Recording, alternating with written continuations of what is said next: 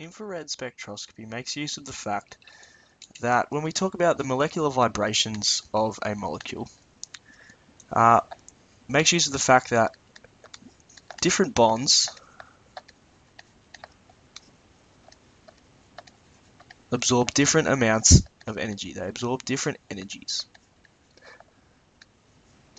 So that is the key to infrared spectroscopy. So we know that molecules can be excited so that they're vibrating and stuff in lots of different ways, and they do that by absorbing energy from infrared light. So now if these different bonds absorb different energies, it means they absorb different wavelengths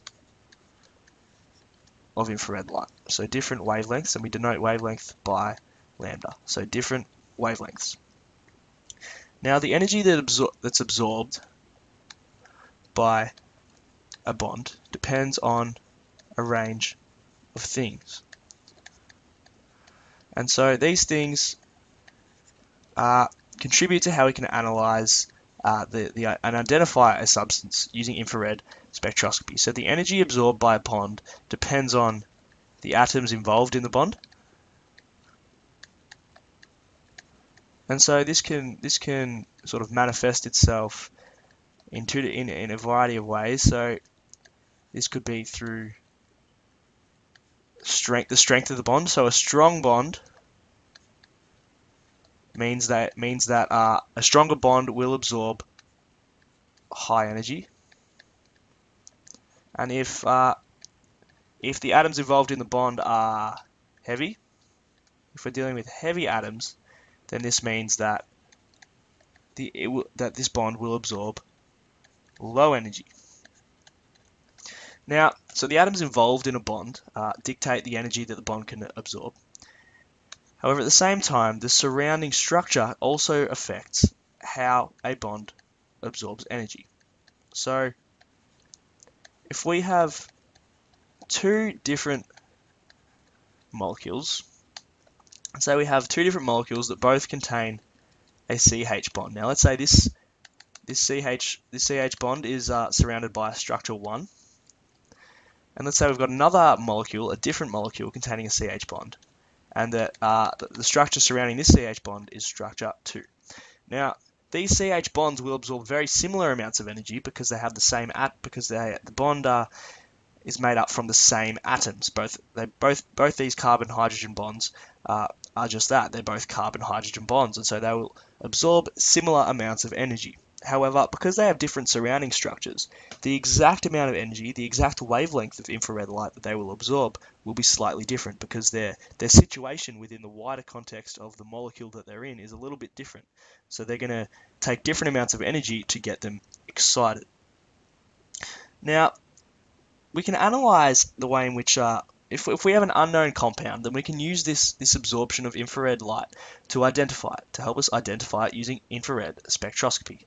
So because each different uh, bond or each different functional group, if we're dealing with organic molecules, because different functional groups or different bonds absorb different energies and thus they absorb different wavelengths of light, we can analyze the wavelengths of light that an unknown compound absorbs and thus figure out a little bit about its structure. And so we use this using spectroscopy.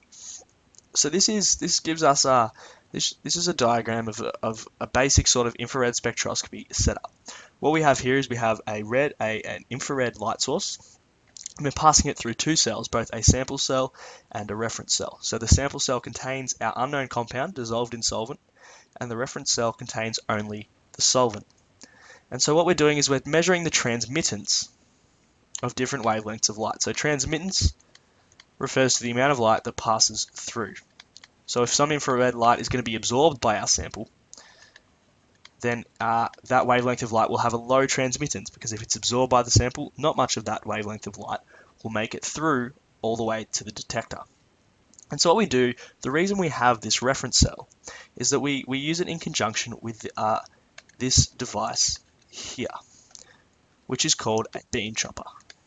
Basically, what the beam chopper does is it alternates the light that is reaching the detector. So this beam chopper keeps spinning so that uh, one, one instant we've got light from the reference cell reaching the detector, and the next instant we've got light from the sample cell reaching the detector. And so That means that we can we can look at the difference in uh, transmittance of different wavelengths of light between the sample cell and the reference cell, and that means we're only analyzing the light absorbed by the stuff that we've dissolved in the solvent. Uh, without the reference cell, then we would uh, we would be analyzing the, the wavelengths of light absorbed by the solvent as well. But this means by by comparison, we can eliminate any any the effect on the absorption of different wavelengths of the solvent, and thus we can get a more accurate uh, determination of the identity, the identity of the compound that we're looking for. So we've got this beam chopper in the reference cell, and we also have a monochromator. So we can move this monochromator around such that uh, only certain wavelengths of light are being measured at the detector. So then we can measure the transmittance of all the different wavelengths. So as we do this, if we run this uh, process, if we've got our unknown sample dissolved in our solvent up here, and we move our monochromator through all the different wavelengths, then what we get is a reading or a, a sort of a chart that looks a little bit like this. What we get is we get sort of a graph of transmittance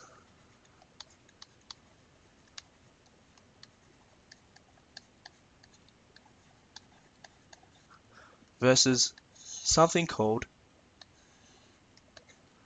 wave number. Now wave number is a bit of a silly, unnecessary, complicated thing that some chemists somewhere thought was a good idea. Wave number is basically another way of looking at frequency or wavelength of light. So the wave number of a certain uh, a certain piece of light is equal to 1 over the wavelength. So if we've got a wavelength of 400 nanometers, then we can work out the wave number of, uh, of that piece of light simply by saying the wave number, that by Wn, is equal to 1 over 400 nanometers. So that's how we work out the wave number. So we get this graph of transmittance versus wave number. Now the majority of frequencies of infrared light are going to pass through uh, the sample cell unperturbed. So we're going to get you know, usually the transmittance is going to be pretty high, but then every now and then we're going to reach a wavelength of infrared light that will be absorbed by our unknown compound. And so then we're going to get a dip in transmittance. And so we can use this graph to help us identify and sort of map out the structure of our unknown compound. As I said earlier, if CH bonds may uh, may absorb slightly different energies in different molecules, but usually a CH bond will absorb roughly the same amount of energy. And so, if we look at this chart and we know uh, we know the the range of wavelengths of uh, infrared light that will be absorbed by a CH bond, then we can see if there is in fact a CH bond in our unknown compound. So let's say if we get a, a trough in our transmittance wave number graph here, and uh, we know that this wave number here, wave number here is characteristically uh, absorbed by, by a CH bond, and we know that this trough has been caused by the presence of a CH bond. And so by using our, our, our transmittance, transmittance wave number graph in conjunction with our known data for different wave numbers and, and different wavelengths that are usually absorbed by, by different bonds, then we can uh, analyze and map out the structure and the different bonds that are present in a compound, helping us to identify it and learn a little bit more about how it looks. So we'll, we'll have a bit of an example of how we can actually go through this process. Uh, but that is how infrared spectroscopy works. It, it, works on the, the idea that different bonds absorb different wavelengths of infrared light, and by measuring those wavelengths, uh, we can identify the different bonds that and, and thus the different atoms that are present in an unknown compound.